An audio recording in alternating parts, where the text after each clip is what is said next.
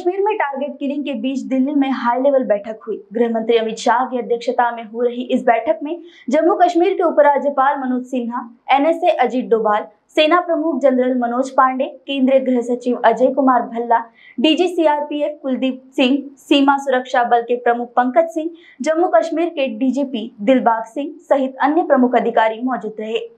सूत्रों के मुताबिक बैठक में अमित शाह ने कहा कि कश्मीरी हो या नॉन कश्मीरी सुरक्षा के कड़े इंतज़ाम किए जाए।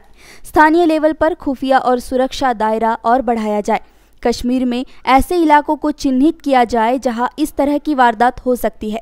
आतंक फैलाने वाले लोगों से सख्ती से निपटा जाए, किसी भी कीमत पर बख्शा ना जाए। गृह मंत्री को बैठक के दौरान बताया गया कि इस पूरे मामले में एंटी टेररिज्म ग्रिड पूरी तरह से एक्टिव है।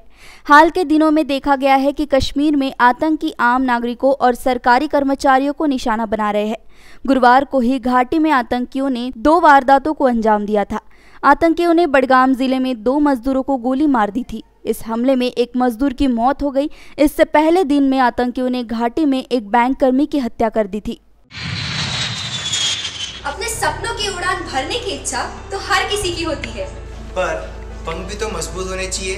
जो देता है Flywheel aviation academy Flywheel aviation academy एक ऐसा इंस्टीट्यूट है जहाँ पर एयरलाइंस एंड एयरपोर्ट हॉस्पिटैलिटी और टूरिज़्म मैनेजमेंट साथ ही यहाँ campus interview guidance by industry expert practical training at airport expert faculty personal grooming जैसे कई सारे बेनिफिट आप पा सकते हैं। Flywheel aviation academy one degree three job opportunities Flywheel aviation academy gives you a degree और diploma with a job Flywheel aviation academy 365 Gandhinagar LAD college square beside Karnataka bank Nagpur.